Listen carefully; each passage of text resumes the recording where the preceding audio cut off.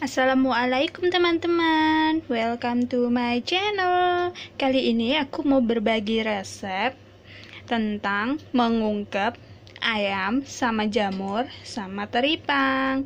Nah pertama-tama kita marinate dulu ya Ayamnya yang udah dipotong-potong seperti ini. Udah tahu kan marinate-nya pakai apa aja Nah, kalau aku memarinetnya pakai siau atau kecap asin, terus jilo atau minyak ikan, mayau seperti biasa, minyak wijen, gula, garam, sama sanfen atau tepung maizena ya. Nah, kemudian ini didiamin dulu 30 menit.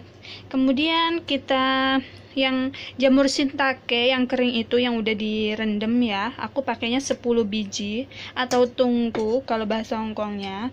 Kemudian ini hoisam atau teripang laut yang udah direndam dan udah direbus ya ini.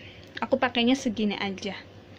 Kemudian bawang putih sundau kemudian bawang merah atau hungcung dao kemudian jahe atau keong.